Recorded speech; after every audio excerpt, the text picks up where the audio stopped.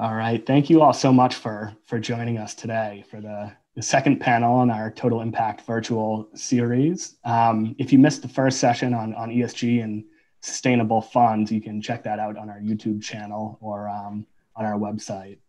Uh, while everyone is, is filtering in here, I'd like to take the opportunity to thank our sponsors, including our, our lead sponsor for the series, Envestnet, um, along with additional sponsorship from Barclays and RBC Global Asset Management and Impact Assets.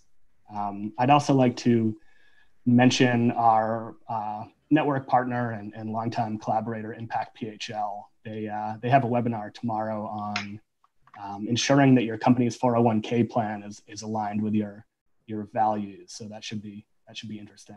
Um, one note before we get started, please feel free to submit any questions through the Q&A feature at the bottom of the screen. Um, as we get closer to the end of the hour, I will uh, we'll do our best to, to get to as many of those questions as possible. Um, so with that, I would like to hand it over to our moderator today, William Burckart, the president and co-founder of the Investment Integration Project, an applied research and consulting services firm that helps asset owners, managers, and advisors understand the, the big picture or systemic context of their portfolio level decisions. He's also a fellow of the High Meadows Institute, and he is the co-author of the upcoming book, 21st Century Investing, Redirecting Financial Strategies to Drive Systems Change, which will be published by year in, in 2021. Uh, so with that, I will turn it over to you, Bill, to take it away. Thanks, Alex. And thanks for everybody for joining us for this session. So just as a kind of quick level set, um, over the next hour, as Alex implied, so building off the his kind of framing there, I'm going to provide a few remarks that kind of frame out uh, the discussion. We'll bring in these brilliant panelists that are just going to blow you away with all of their insights and knowledge. Then we'll come back for Q&A with the audience. Um, make sure we leave plenty of time at the end for that. Um, but folks, as Alex said, should be submitting questions in the meantime, and we'll try to get to them even uh, before we open it up. Um, and then we'll wrap up with a couple of final thoughts, kind of key action items, next steps from the panelists um, for people to kind of apply tomorrow in their practices. So just to um, kind of start us off, you know, at the end of the day, when we start to think about this kind of demand for sustainable and impact investing by by clients, it's been intensifying. We've all experienced it. You open up the news every day; it seems to be growing in terms of interest and awareness. Um, and the pandemic has really served to turbocharge a lot of that and think of the things that um, are kind of uh, filtering into your investors' heads right now. So the headlines over the past few months have been this kind of crazy, dizzying um, uh, set of them, where highlighting everything from comparisons to the Great Depression, deepening racial disparities in health and opportunity, and increasingly uncertainty about what happens next. So, in short, the COVID 19 pandemic has really reinforced what many investors were already coming to, right? That they need to integrate social and environmental considerations in their investment decision making, and they really need their advisors to support them in doing so. And a few years, uh, I guess it was a year and a half ago now, Brett, Noel, myself, and a few others partnered with Money Management Institute and a number of other industry bodies to come up with practical guidance for financial advisors as they attempt to kind of meet this need. And that's what we're really going to focus on here today is kind of how a lot of that thinking is evolving in the face of the pandemic and the face of kind of growing data and information about the performance of these kinds of strategies and approaches and how that's changing um, client demand. I guess just to start us off, though, that kind of key big prompt of why investors and why advisors should really start caring about this.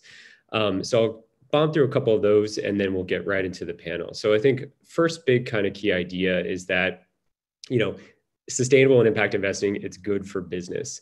Um, people point to the kind of big number around one third or one fourth of assets under management are somehow aligned with these kinds of considerations. I think most advisors still grapple with, yeah, that's at a high level that seems to be true, but in reality, when they look at their portfolio or their practice, it's not really reflected in that way.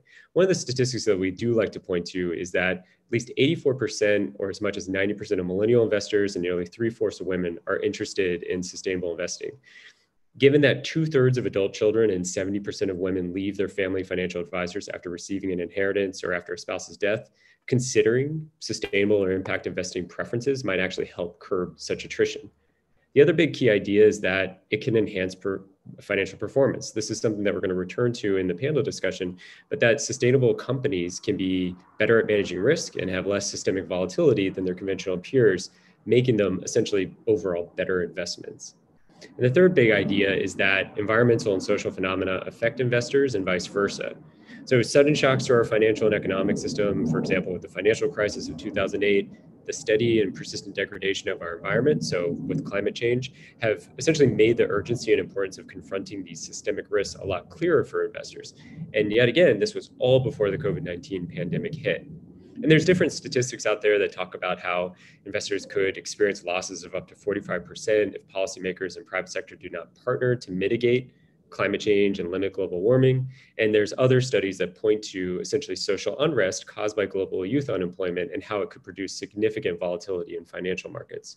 It's something that we saw during the Arab Spring a number of years ago, but something that we're increasingly starting to see as, as unemployment rates really tick up around the world. So the big overarching point to all of this is that when you start to think about the, the value or the leverage potential of impact or sustainable investing, is that it essentially helps with client recruitment and retention. That's the big banner headline. And so this raises any number of sticky questions for advisors as they attempt to kind of meet that demand and, and really instigate that demand with their clients. And so we have a incredibly uh, powerful uh, set of perspectives here that help us kind of tease out a lot of these implications. Um, so Brett is obviously leading the impact investment charge at Envestnet. Noel is kind of the impact investment guru at Morgan Stanley, and Lori is uh, fight, fighting a similar uh, battle uh, at, on the front lines with Veris uh, Wealth Management. So um, I want to start with maybe we jump off with uh, Noel. Um, so talk to us a little bit about how 2020 has uh, how has 2020 confirmed or evolved your approach to investment management um, and really starting to meet client demand around impact considerations? Sure. Thanks, Bill. And thanks for having me on this panel. Um, I wouldn't put myself out as an impact investing guru, but I'm definitely an enthusiast. Um, so we've been kind of beating the drum about values integration for some time. We renamed our team the Conscious Wealth Management Group to call out specifically to our clients and our community that this level of consciousness is a part of our embedded process and what you can come to expect of us when you have a conversation and work with us. So, um, even before the pandemic, we were very focused on listening intently to what our clients were saying was super important to them, and it really it, it floats across the spectrum. You know, not all of our clients are protesting in the streets here in Portland, though some are and you know it, we really see ourselves as the bridge between our clients and the vision they want for the future and then the global economy and the realities that we all face you know as we see these global imperatives really come to light and so in 2020 here we are you know there's a pandemic and you know in past years i think the environmental risks have been very apparent and and very experienced by all of us. But now the notion that you know human value and human capacity has been called into question and is is everyone's experience. The entire globe is recognizing you know what it means to breathe the same air and to really you know assess and reflect on human life um, you know it's it's very hard not to have harder like much deeper conversations with clients and so in 2020 you know it's just uh, catalyzed those conversations and created a depth that I think has been welcomed by our team. Um, our clients feel like we have not only um, an open ear and an open heart, but we also have tools and solutions. Um, and we also are able to report on outcomes through our MSIQ reporting and everything else. So we feel really lucky to be equipped to be able to do this work um, in these important times and that clients are, are feeling really um, like our response is just what they need. So yeah, I would say if anything, we're experiencing growth. It's it's been exciting that um, all the seeds we've planted all these years, knowing this is the right way to do business, um, are finally coming back and kind of flourishing um, to the point where we're hiring a new partner. Like it's it's been a wonderful response from our community. And um, and we're excited even though there's lots going on in the world we're, we're actually very optimistic about what this holds for our industry our work and our future. Well so i want to build on that and bring lori in. So is what noel's expressing is that unique or are you guys experiencing a similar level of kind of awareness interest and kind of um, value of your process uh, with your own client base at Veris Sure, yeah, and just a little bit of background on Veris. Um, we're proud to be an independent RIA. It's a little different um, than I know some others on the call may be part of a larger shop. Um, so we've been dedicated to impact wealth management. Um, we were founded in 2007 by pioneers in sustainable and impact investing. Um, so yeah, so while we've seen additional interest during this time, I think similarly there's been a buildup over the last five years or more. Um, certainly our firm has seen this tremendous growth along with the industry. So we're definitely fortunate for that. Um, and I think we are, you know, our clients are similarly very, you know, very interested to use their money for good. Um, we it's maybe if anything lit a sense of urgency for some of them or uh, made something more apparent than that was already there, always there. These social issues are not new um, you know, income inequality, racial disparities, all of those things. I think our clients have, have been sometimes, in some cases, teaching us about these issues um, and the risks that were, you know, coming forward. And, and it, the pandemic and uh, you know, protests and all these issues have kind of raised light, um, shed light more on to these issues. So in some cases, you know, we're spending, we're doubling down on things like, you know, client conversations like education, helping them understand, you know, bridging that conversation between what is the the social issue or the environmental issue and and what's happening in their portfolio. So how are they actually having an impact? Um, and reminding them about the investments they already hold that are helping to help support the issue or introducing them to new investments that they may uh, not be aware of that could help them align their investments with their desire to help. Um, and we're also kind of going, um, facilitating their generosity in some cases, you know, helping them with cash flow, portfolio needs, um, helping them be more philanthropic or do more impact first portfolio investments. Um, and talking to them about what really matters. I think a lot of the, these rich conversations lately have been around their investment policy statements, the guidelines they want to use, um, in in how they value, you know, choose which investments are in their portfolios, and you know, think foundations, for example, thinking about should we be spending more than five percent this year because of the need, and um, what, what are our impact priorities? And should that include a, you know a greater emphasis on racial equity for example? And a lot of issues like that are coming up and it's been really interesting really exciting to be able to be try to be part of the solution with them. Well so, so i want to build on both of those. Yeah i don't know what just happened there. Um, so everybody's awake now. Um, so i want to bring brett in. Um, so we have these kind of interesting practices right? But the work that you're doing, it's it's essentially fulfilling that home office function where you're trying to support lots of advisors, right? And so, wh- how does this dynamic, what you're what we're hearing from Noel, what we're hearing from Lori, how's that playing out at a at a higher level as you attempt to kind of help support all these advisors on meeting a lot of this uh, demand?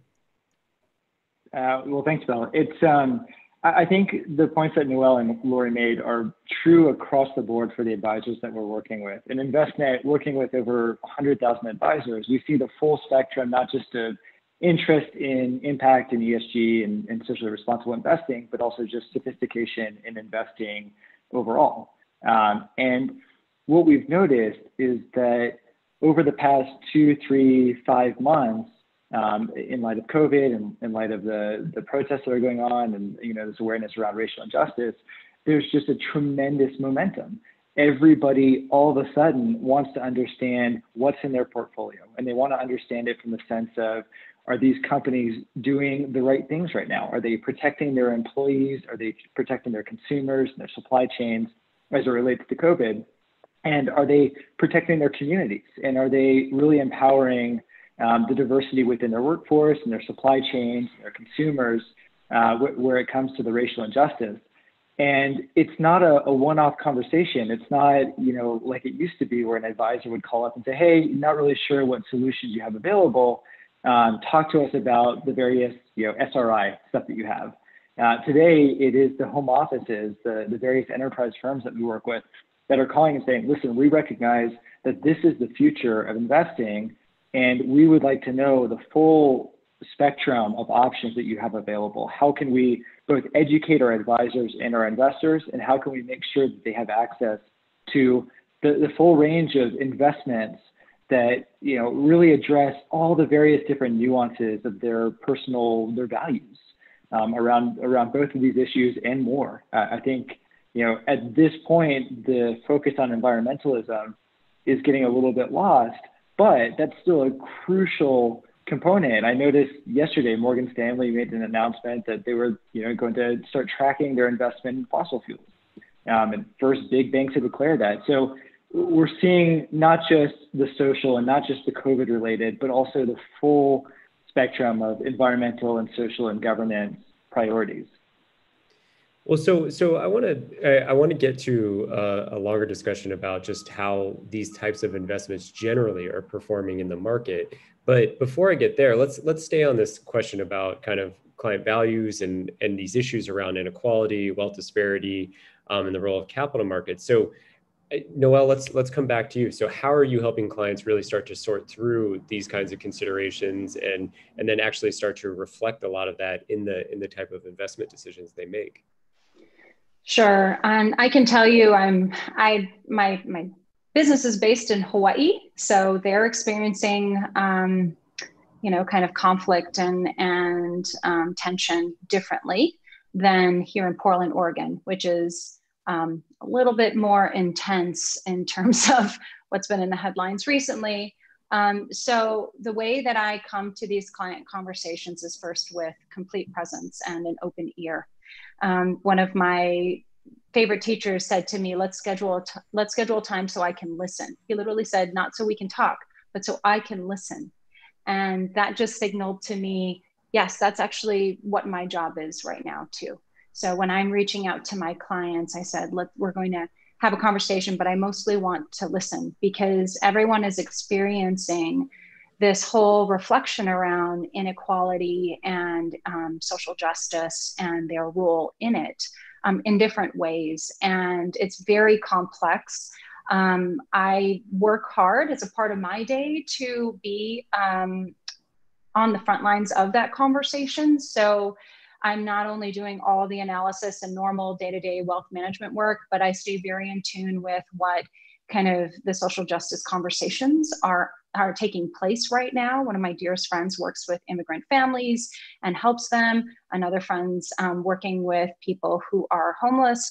And all of these conversations allow me to have a greater um, fluency in, in the various tenets of this conversation um, so that when I do approach my clients, I cannot be shocked. I can be literally responsive, um, receptive, and then take what I receive from them, look into our toolbox, and understand of the strategies that we offer here at this firm and that are available universally. You know, what is going to be in the best interest of this client? You know, it's not a cookie cutter approach. It is literally like a bespoke, custom designed solution based on exactly what I just heard from the client of how they want their investments to be a reflection of, of what they're feeling in this moment. And not just right now, but again, we're making investments for the future. So we also talk about what does it look like to live in a world that celebrates diversity, that promotes equity, that defends equity. You know, how do we align ourselves and all the dollars that we have in our disposal, you know, in that beautiful vision? And so we also talk about how are you choosing to consume? How are you choosing and to give? You know, is there a greater give right now? Like Lori said, just doing that deep discovery gives us so much more content to be able to address that in their portfolio. And again it's a it's a constant process. And i love these conversations because i become one of the people that um, my clients want to stay connected with and constantly reflect on this. So i feel very um, heightened esp with my clients right now as everyone's experiencing this kind of wonderful reflection and awakening. And it's not all wonderful. Trust me, there's a lot of um, pain and, and collective trauma that we, we talk about on a regular basis. Um, but I, I, I, say it's beautiful because I feel very honored to be a part of that. So well, so I think what you're highlighting for me um, when we when we did the work with MMI, we really tried to say there are these steps in your advisory process around preparation, mm-hmm. discovery, mm-hmm. recommendations, and management. And I think what we're drilling into, I, I want to get to the recommendations and the performance conversation, but let's stay on, Lori, I want to bring you in because I want to stay on this preparation and discovery. So how much is when you guys think about how you prepare for client engagements generally, right? And how you conduct discovery, when you start bringing in this kind of increased focus on inequality and wealth disparity, how does that change your guys' process or does it at all? I mean, is it changing the kinds of questions you ask? Is it like Noel is trying to like I'm now, you know, she's going to be informed on whatever the latest is on social justice generally, right? Because that she's going to drive that into her client conversation. So, how is it starting to evolve? Maybe Veris's approach to kind of meeting client demand for this sort of thing. Yeah, thanks for the question. So I think for us, you know, we've relied on our research team who, uh, you know, they're able to go deep with all of the managers on our approved list and talk to them about how are they all responding during the COVID crisis. And so I think for us as wealth managers, we were able to kind of get that information all gathered together for us. And then that was kind of our research to be able to then communicate that to our clients. Like, you know, here's how this manager is approaching um, you know the covid crisis and how they're dealing operationally with their team. How are they also how is the portfolio doing also in this moment you know with whatever was visible at the time? And you know these are ongoing uh, research and, and oversight uh, conversations. But i think just being transparent with clients like in real time kind of here's what we have. Here's what we're, we're on the case uh, to find out. Uh, do you have any questions? And uh, you know i think there are um, again our clients are our best kind of you know pusher to, to kind of continue to be authentic and, and to keep on the edge of of what's really truly impact and so i think that's been important for us um, I think leading also from our end, knowing what we know about the landscape and understanding uh, where we think uh, folks are having a huge amount of impact. I think we've we've kind of talked more about intentionally uh, things like CDFIs, community development financial institutions, um, where, where you're really being able to fund uh, projects, affordable housing, uh, community facilities, et cetera, in these low income communities that are being hardest hit right now. And so that's been um, an area of education that we're, if they haven't already done CDFIs, that's been one area where we've, we've started to have more intentional conversations. Well, so I, I want to bring Brett in because I think it raises an interesting dimension here. So does every i mean because you're supporting 100000 advisors their clients are going to range right and i wonder it's like when we start to have a conversation about cdfis or we talk about um, noelle raised this like and we're or lori did too about this like using philanthropic capital as well and like kind of looking across it but I mean, at the end of the day, how many of your advisors are really going to be able to direct clients in that direction, right? I mean, so there's that level of what's the customization that you can do, what are the minimums, like all that kind of. How does that playing into how you're starting to support? Because Envestnet plays in such a, a I think, a, a, more pure like private or public market arena, right? We do, um, and I think that that's where we we've really excelled. But I think we have an opportunity as both a financial technology platform as well as an asset manager and an RIA to keep expanding what we're able to offer. We've worked we've worked with Veris for what is it, 10 years now, 11 years now, on building out our capabilities, and they, um, they have continued to push us on what we're able to offer and how we think about structuring these various different offerings. I would imagine you hear a lot, uh, I mean, all the time now about democratization of impact. And 10 years ago, 15 years ago, it really was the purview of institutional investors, endowments, foundations, private foundations that were making the biggest change. Today, I think we've doubled the amount of retail investors who are accessing or, or using ESG or impact investments. And as we see new technologies like um, fractional share technology or new structures around private access vehicles, I, I can imagine there will be a day soon when we'd be able to access or offer access to uh, CDFIs or to you know private notes or even private equity and venture capital around impact initiatives. Well, so so Noel, I want to bring you in because I, I want to build on this a little bit, just in terms of it's getting into this question of the recommendations, the options you can actually provide mm-hmm. clients. So let's but let's start with the kind of million million dollar question, trillion dollar question, whatever. But the the performance of these kinds of investments in this current market. I mean, presumably the better the performance is going to the easier the case you can make for providing certain kinds of strategies mm-hmm. to clients to the range of clients so talk to me a little bit about how that dynamic's playing out on your on your end Sure. I mean, I can't, given you know sure. certain yeah, I, I, can't I can't talk um, specifics about investments, but I can say that um, when we do the the overall manager due diligence on our strategies, and we're not we don't only limit our toolbox to those that integrate ESG and impact um, metrics. We, we're across the board. As a fiduciary, we believe it's imperative to look at all solution sets to make sure that because uh, every every client has different financial objectives and how they want to get there. So we are educated across the spectrum. Um, what I will say though is that it, there has been a demonstration in certain asset classes where you look across ESG and all traditional peers, and there's definite leadership, particularly in certain timeframes. And I would say that um, you know on a risk return basis, just depending on what the client needs, there have been standouts for us. So even a client that has um, articulated that you know when it comes to impact, you know if, if it's if it's beating out the others, then I'll take it um, I can tell you that I would say of our client base, of which we serve families, foundations, founders, and you know some surgeons. You know, we've got a, a really mixed group. Um, at least one of the strategies will have um, some level of ESG integration. And oftentimes it's not just the return, it's the risk that's driving that conversation. Um, we now have Aladdin embedded into our desktop, which allows us to really look granularly at the volatility of portfolios and at a security level um, standpoint. So, with all these various tools, we're able to get very, very um, yeah detailed about this custom designed strategy for our clients and it just i mean 2020 didn't just bring a pandemic, it also brought a shock in oil, you know, and distribution, um, you know, disputes and just a fossil fuel free. I mean, it, it's pretty literal, you know, in terms of um, the risk standpoint. If you if you were out of the way of that big risk, you probably had a lot less risk in your portfolio and potentially you know had a better performance. So i'm going to let someone else who doesn't have is that a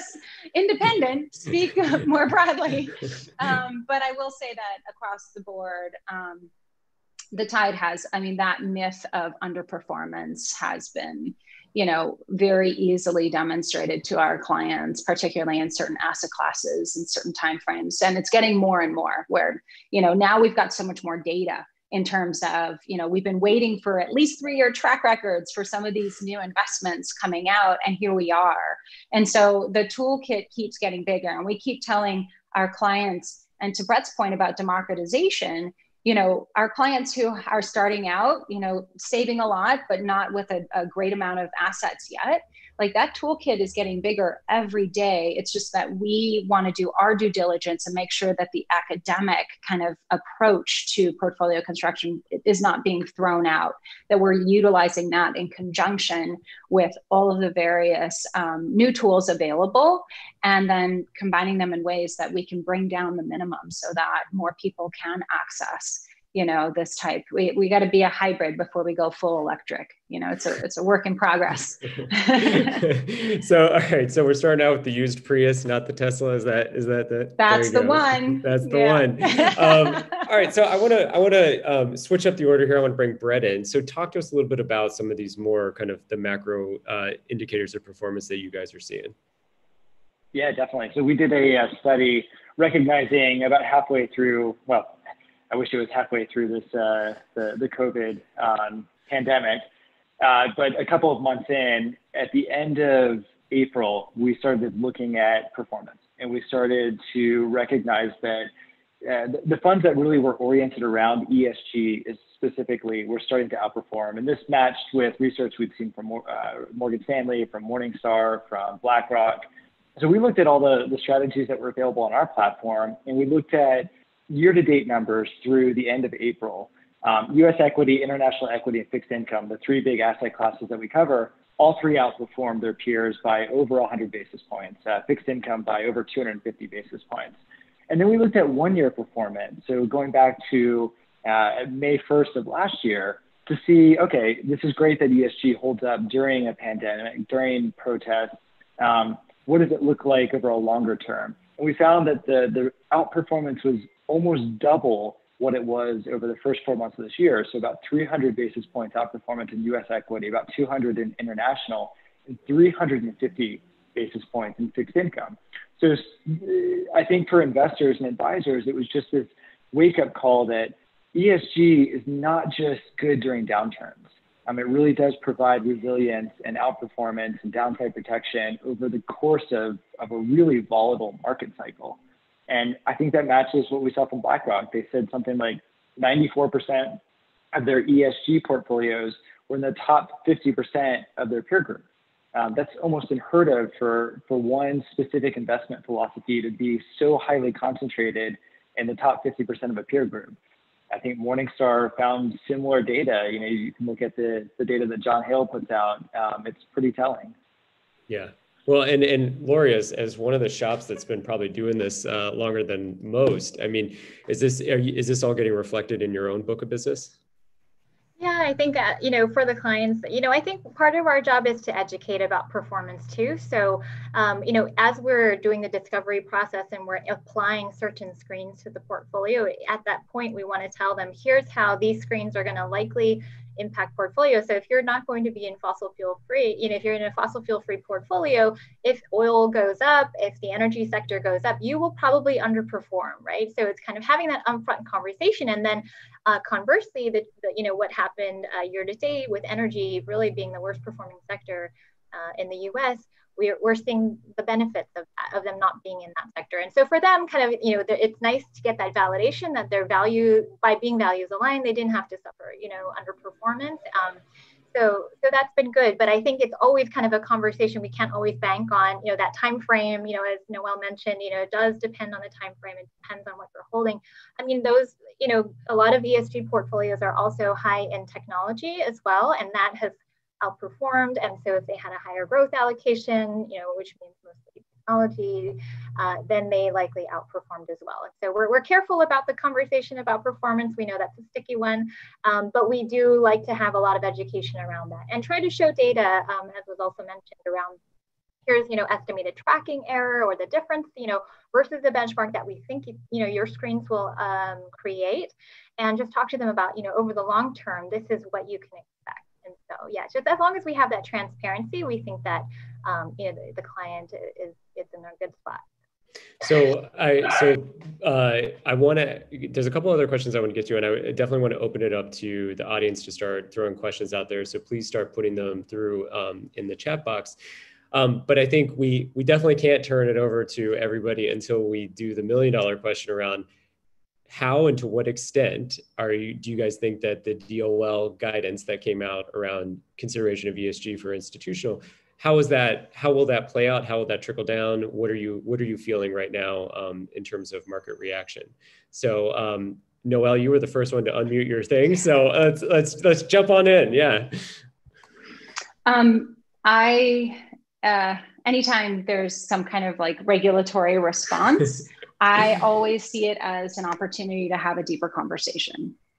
I actually think that if um, ESG is is coming into you know the the periphery of our regulatory agencies, and also to it just makes it so that all of these foundations have to really understand it.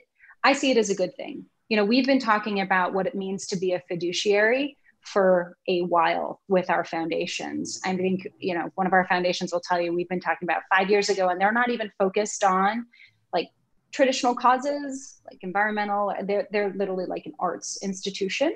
Um, and we still were, we're talking through what does it mean with MIFA and other you know policies in place to define you know using all the information available to have the context to make informed decisions on behalf of an organization, right? So it's to me um, just allowing us to go deeper and make sure everyone in that boardroom um, has consensus around the conversation. Um, and it's prompted just wonderful conversation um, that I uh, we encourage. So. So you you turned a, a potential negative into a positive. So this is a real this is a real opportunity for for deeper discussion. Okay, uh, Brett, what are what are you looking uh, at at the at the macro level? at the macro level, we're just looking at the we're looking at the number of asset managers who, on a very serious level, have started to integrate ESG into their portfolios. And we take this perspective that listen, you go to a doctor and they're the expert on what's going wrong with your body.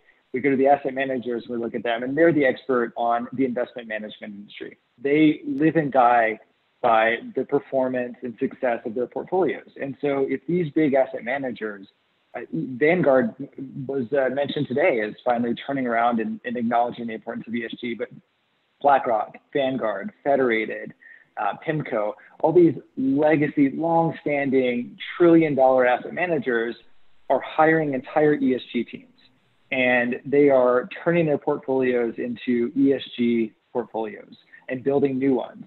And if they are the ones who are jumping on board, I'm not really sure why it's in the DOL's purview to say we need to control this, we need to regulate it. Now, I do think some clarity is really good around ERISA guidance, um, and that's what the DOL is for. But I really think that they should take the lead from the experts in the field who are those asset managers.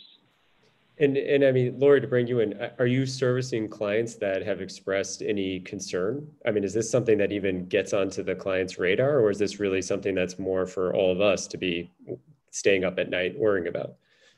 Yeah, I mean, we don't actually have a lot of uh, you know, impacted clients. However, uh, we do focus mostly on individuals and their private foundations. But um, I would say we are engaging them and coming to them with the issue. So we just sent an email to, to clients yesterday saying, you know, your action is needed by July 30th. There's this very short window for a comment period and we're actually engaging them to send letters to the DOL and also to write letters to their Congress people. So um, we're, we're definitely educating them about the issue and, and you know, how important it is. Yeah, and I would encourage folks to check out. There was a, a, a letter that was put together by a guy named John Lukomnik of Sinclair Capital, who's kind of a been a field builder leader in the space for a while, and we signed on to it. A number did. It's one of the most methodical and persuasive uh, arguments for clarified guidance that uh, we ever did see. So, um, encourage you guys to check out John Lukomnik stuff. So, um, I want to do one more question, and then I definitely want to get to audience Q and A. So.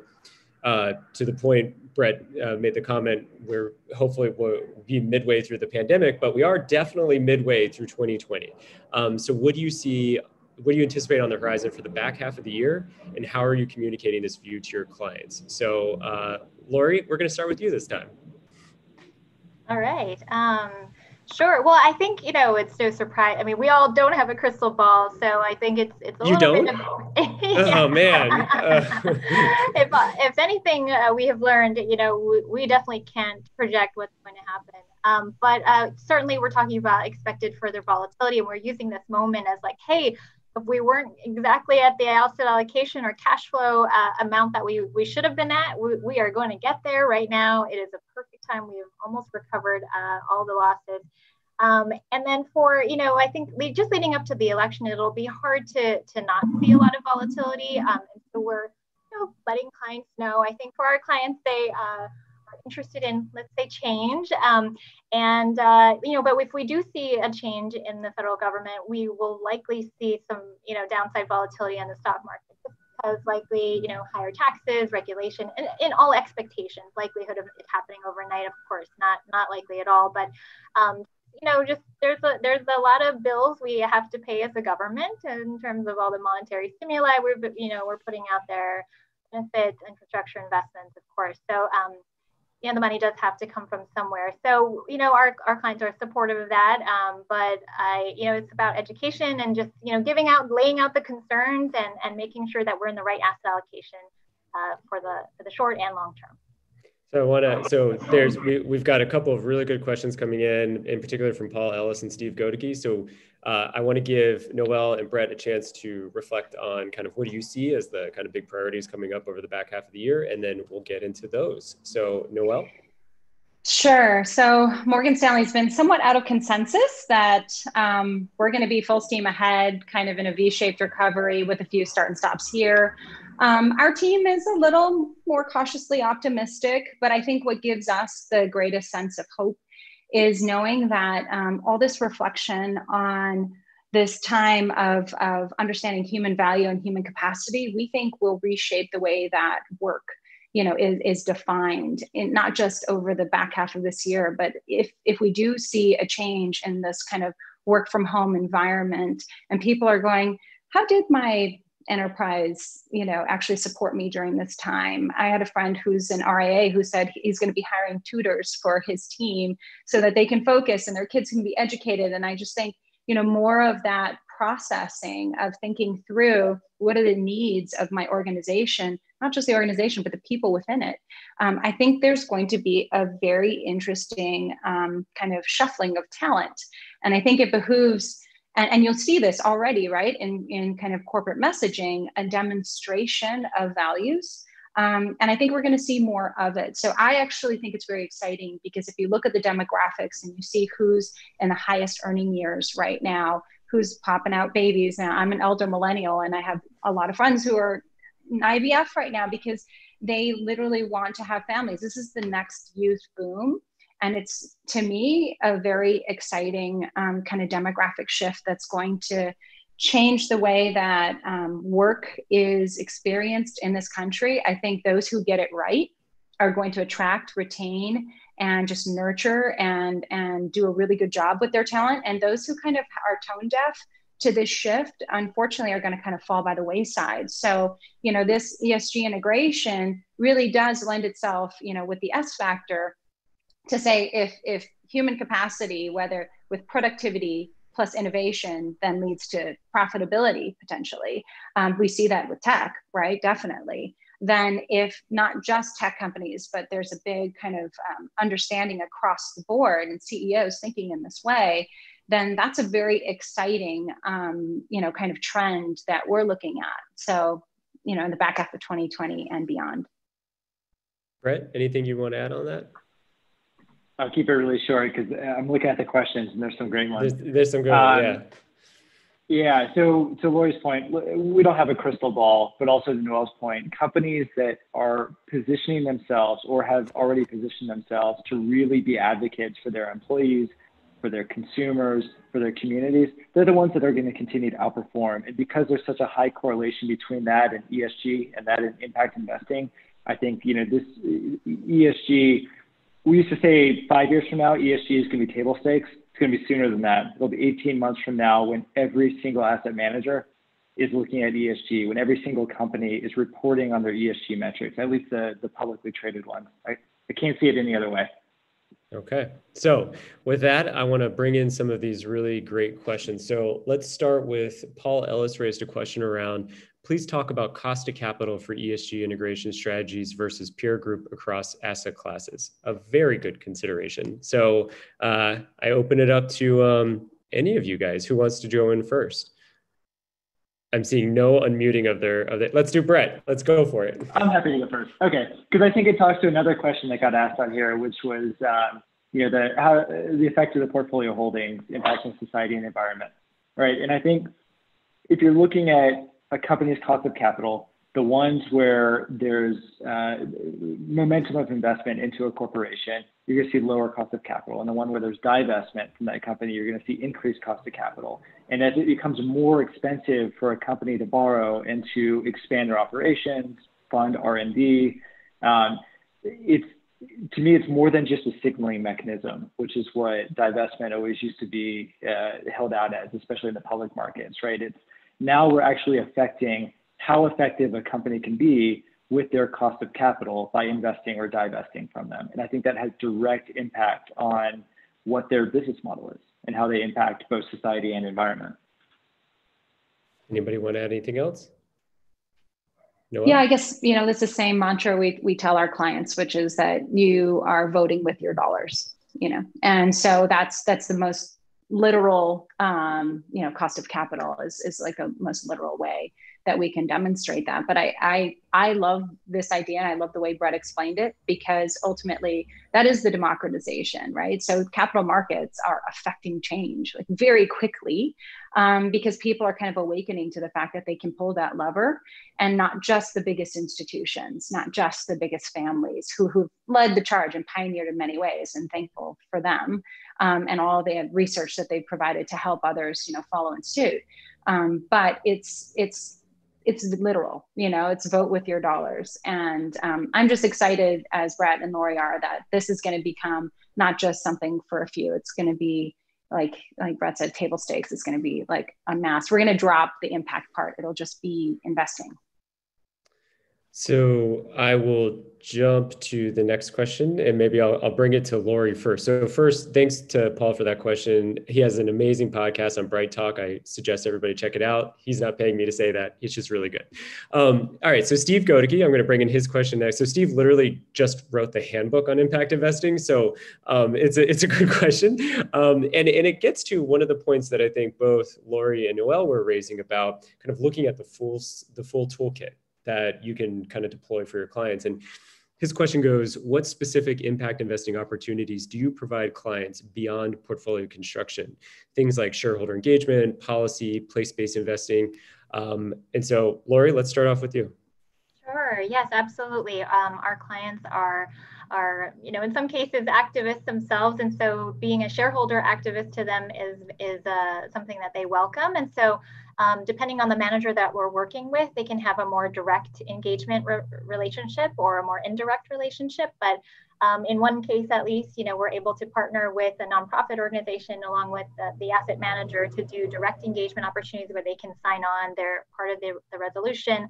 Uh, their name is listed. Um, and and they're able to kind of be part of the the, the action and the movement and, and keep track of how that issue is um, resolved or with, withdrawn uh, from the company over time, you know, if it's successful or voted on.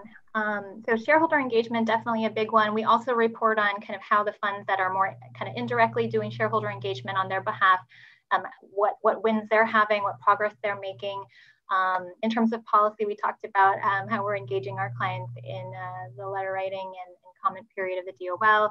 Um, place-based strategies, yeah, so we're talking to them uh, about that depending on their client preferences. So for some, you know, it is, a, a, again, a conversation about CDFIs, about how, um, you know, their local, you know, CDFI might be, you know, an opportunity for them, or in certain cases, um, yeah, considering other place-based uh, you know initiatives that they can support philanthropically or um, through movements. I know some some funds allow you to, to target geographically.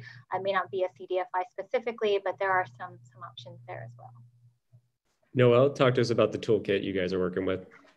Sure. So we're really lucky that our team in New York developed um, and in London this this wonderful report called the MSIQ or the Morgan Stanley Impact Quotient, and it's a it's a report that basically is you know it's a first we fill out this this pretty extensive questionnaire and then we can actually overlay with our clients like how aligned is your portfolio to the values that you've articulated and go line by line through the various strategies at a security level and and understand what of your strategies are very activated and which are not and so we have all these different ways to kind of paint the picture of the level of intentionality with the portfolio.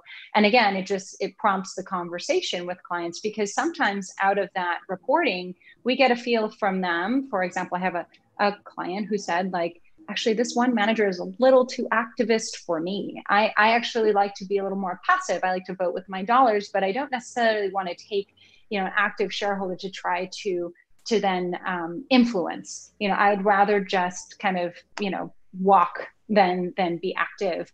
And so um, it really just depends on the client. And it also requires us, as Lori does, um, to really know our, our asset managers, to understand the different flavors um, of the way that what they operate, the way they think about systemic change, and kind of the levers they're pulling um, during their conversations with these um, investments into companies. And then for us to reflect on those as we're talking to our clients. So that's kind of the approach we've taken. And Brett, I mean, how does your toolkit compare to what Noel is able to deploy versus what Lori is able to deploy um, in your world? I think our toolkit is, uh, again, because we're an investment platform, we're um, much more focused on the public investment side. So we don't have the same tools that a RIA would have in terms of private investments yet um, or access to CDFIs. But I think what we bring to the table is the ability to do some pretty comprehensive reporting. Uh, what we're working on now is some pretty um, interesting uh, assessment tools, you know, being able to identify not just if a client is interested in impact investing, but what type of impact are they looking to achieve um, and doing it through some really interesting behavioral modeling. So we, we focus more on the providing of the investment strategies and the tools and the technology uh, to the advisors to be able to, to work directly with their clients on it. Well, so thank you to, yep, go ahead, Lori. One thing to add, because um, uh, Brett mentioned, you know, Veris works with with uh, Envestnet, but yeah, we've, I think, you know, Envestnet's done a great job of thematic strategies as well. So helping, um, you know, not just take, you know, here's a portfolio, but how do you, you know, kind of thematic, you know, let's say for gender lens, for example, there's a strategy around that. You know, there are different ways to, to achieve these different impacts. Awesome. Yeah. All right. So, uh, well, thanks to Steve. That his new handbook with uh, Rockefeller Philanthropy Advisors. You can go on his website or their website and get it. Um, so I want to do one more question, and then I want to tee you guys up to kind of give that. They used to do this at CGI, where it's like, what's the action item? What are you gonna? What are people going to be able to apply to their practice tomorrow? So, but first, I want to get to a question from Adam Jones. So it goes, I assume, but with a likely global reception, reception, ugh, recession, do your panelists believe they will only focus on companies already in their portfolios? If they are willing to invest in a new company, what stage or level of traction will be necessary for the next 12 months? it's an interesting question. Um, open it up to you guys to uh, Noel. Sure. I was just on a conversation with um, some elite practitioners, a, a, national group called the Investment and Wealth Institute, of which, full disclosure, I'm on the board. And we were talking about, you know, how companies or asset managers, you know, all of this, how us as an organization are going to show up in this moment. And I think the question posed is like, is there anyone who's not on your radar that will be on your radar and why? And I think I think the bottom line for us is that you don't have to have all the answers, right? In this moment. None of us do, right? I think we're the the moving target of what it means to be ethical, let alone, you know, morally, you know, above others or whatever. It's a it's a moving target daily. And, you know, this pandemic, this social unrest, just the way that our world is kind of shaping up is causing all of us to really grapple personally and then on a greater level with how we are going to make sense of it all. And I think what would make the difference for me and for a lot of the asset managers we work with that are implementing the funds for for our clients um, and for Morgan Stanley's MS and Co. and and all the research we do is what's the intention, right? So there's an article about virtue signaling recently that came out, like if corporations are flying a banner, but do they really mean it, right? And so I think what's important for us is to understand, you know, you want to partner with me now on this, but will you still be partnering with us on this five years from now? Or are you t- are you going to be just checking a box because that's what all the other corporations are doing or whatever else? And I think we really rely on um, the deep research of some of our asset managers who've been thinking through this like as pioneers for a really long time um, to to get to that level of depth and intentionality and commitment and so um, that's that's my answer is like is it just a flash in the pan or is it definitely like we're thinking these things through we don't have all the answers but here's how we're already taking steps here's where we're getting the resources and just having a very meaningful response, not a reaction. Lori? Yeah, no, I love those comments. Um, I think also, you know, similarly, we do rely on on mostly private fund managers, let's say, uh, to to make the calls on on which individual companies are are going to be interesting and, and profitable in the future with a sustainability element to it. Um, I will say though, uh, you know, if this is truly an early stage company that is coming off the ground, I, I, feel like there are more accelerators right now and more people thinking about small businesses in general right now that there could be some philanthropic capital. There could be, there are more resources, I think, for small businesses and entrepreneurs to kind of get through the next 18 months. But um, that's sort of an anecdotal hunch that I've heard. Okay. So before I, I bring it bring it to the bring it to the close, Brett, anything you'd want to add on that? Yeah, I just think that there's a um, there's a there's room in a portfolio to the extent that the investor can access things like private investment. There's room for all stages of companies. Uh, should have both private and public. Within the private side, there's room for venture capital and then more mature private equity. I think the impact of each of these investments is different. venture capital is often more, um, there's often just one specific intention. It's a company that's trying to eliminate waste from the ocean or trying to create socks out of recycled water bottles. And I think that those types of investments are really um, direct impact. And that feeds up into the private equity side, where there's a little bit more of a diversified portfolio. And then on the public equity side or public debt side, where you're really using your dollars to vote um, on big corporate entities, multinational engagements, and thinking about how does that signal to the market the importance of various initiatives, or you know how does that lower or raise the cost of capital? So I think there's room in a portfolio for for all of those, and I hope that one day that every investor has access to that full spectrum of, of company size. That, so uh, Adam Jones, I don't know if you have a, a great podcast like Paul Ellis or a great book like Steve Godeke, but whatever you do, I hope people check your stuff out because that was a great question.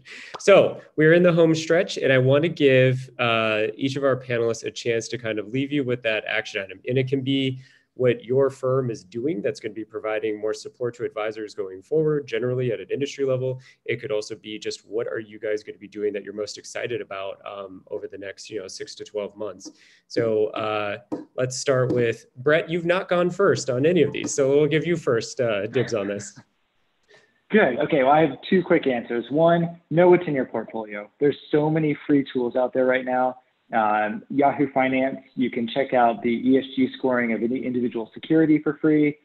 Uh, there's As You Sow has a tool called Invest Your Values, where all the mutual funds that you have, you can look at things like ownership of fossil fuels or gun manufacturers. Just know what's in your portfolio. Be really clear about what you have. What we're most excited about is really helping advisors identify investors who would be interested in impact investing, but either don't know that it exists don't know that they have the access or capability to, to use it um, or to engage with it, uh, or, or just helping advisors become more clear on what that intention that their investor has. Great. Noel? Wonderful answer. I'm not going to repeat it, even though I, I wanted to. Um, I guess I would offer something different, which is that I think that um, we have to recognize that as professionals, like we're affected um, of course, I'm in Portland, so I'm very much feeling um, all of the um, all of the energy that's in the air right now. And I think it, it's on us to work harder to actually drill down and do the personal work to keep peace and keep our ears wide open because I think that is going to be where we create this greatest connection with our clients is to be able to truly listen to that small voice that's calling for I want to try something different, something doesn't feel right. And then being able to have the space and, and calm within us to go in and say, let's talk more about that. And do you realize that we could we could create a solution around that? And then it feels very generative and curing, you know, in the process of, of working together. So my you know small invitation because um, Brett already took one of mine um, was would be that you know don't be afraid to to do the internal work and and keep the peace and keep ears wide open. Awesome, Lori. Yeah, no, I mean, I guess for those that are are newer or even just in the, in the industry for a while, just wanting to stay connected, I would just maybe recommend there are lots of communities of impact investing, uh, you know, professionals out there. Um, I happen to co-found one for, for those who identify as women, uh, Women Investing for a Sustainable Economy or WISE. Uh, you can look it up, wisecommunity.org. But um, that's just one community. USF is, uh, you know, another one. Uh, there's a new uh, racial racial justice investing coalition. You can look that up also if that's a topic of interest for you. Um, so just, you know, keep looking out, extend, you know, I think this is a great community started here at Total Impact um, and just continue to keep the conversations going. I think we'll all be able to help each other that way. Yeah, next report uh, in September. And it's really about how do you start to make the transition from a focus on impact or ESG at a portfolio level to really start to integrate a more systemic perspective, particularly for issues around um, societal systemic risk.